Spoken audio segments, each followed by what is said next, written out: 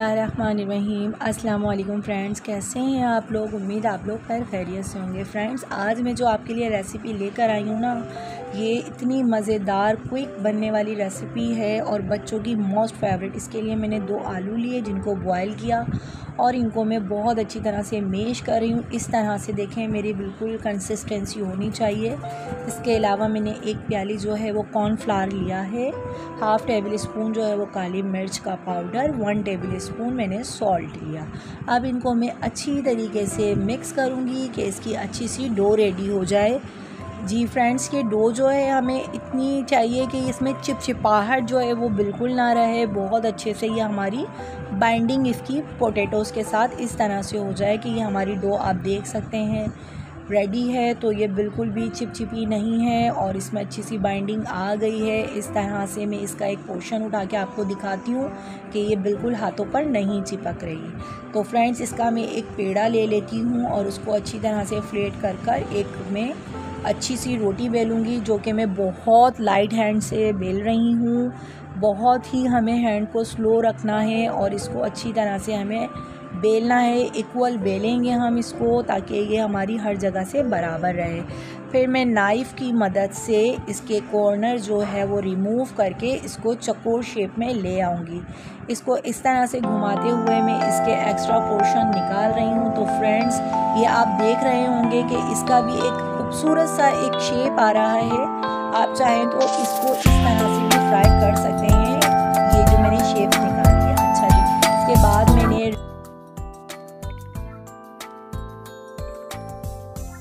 ये देखें। इसके मैं इस तरह से चकोर चकोर पीसीस निकाल लूँगी और इनको नाइफ़ की मदद से हाफ़ हाफ़ कट लगा रही हूँ। हाफ़ कट लगाना है हमें दोनों साइड पर और फिर इसको थम एंड अपनी फिंगर की मदद से हल्का सा प्रेस करेंगे। इस तरह तो ये देखें मेरी खूबसूरत सी बटरफ्लाई की शेप आ गई है और ये बहुत ही कोई खूबसूरत और अट्रैक्ट करती है बच्चों को। ये मैं एक और आपको बनाकर दिखा देती हूँ। बहुत इजी बहुत क्विक बनने वाली ये रेसिपी और इतनी क्रंची इतनी मज़ेदार बनती है ना कि बस आप यकीन करें, मेरी तो बनाते बनाते मेरे बच्चे आधी से ज़्यादा फिनिश कर गए थे। ये मैंने सारी एक साथ से बना कर रख ली हैं। और भी अभी इसके बाद जो बनानी है वो मैं आपको बता दूँगी। ये अभी फ़िलहाल मैंने इतनी करके अब इनको फ्राई कर रही हूँ। पैन में ऑयल लेकर मैंने उसको मीडियम फ्लेम पर गरम किया और अपनी ये वन बाय वन सारी बटरफ्लाइज मैं इसमें ऐड कर रही हूँ। हमें स्पून नहीं चलाना है। स्पून नहीं हम अभी चलाएँगे क्योंकि ये टूट जाएँगी।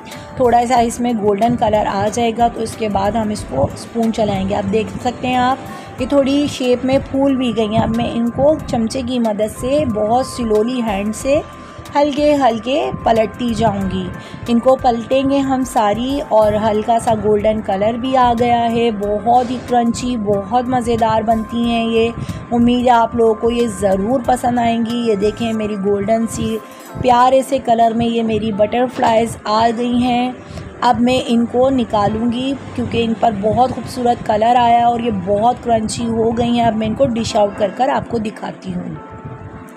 जी फ्रेंड्स ये देखें, मेरी जो है बटरफ्लाइज रेडी हो गई, जिसमें से आधी मेरे बच्चे फिनिश कर चुके हैं। ये मैंने बस वीडियो के लिए आपके दिखाने के लिए थोड़ी रखी थी। ये देखें, कितनी क्रंची ये बनी है और ये बहुत ही मज़ेदार बनती हैं। आप लोग ज़रूर ट्राई कीजिएगा। सबको बहुत पसंद आएँगी, बहुत क्विक रेसिपी है।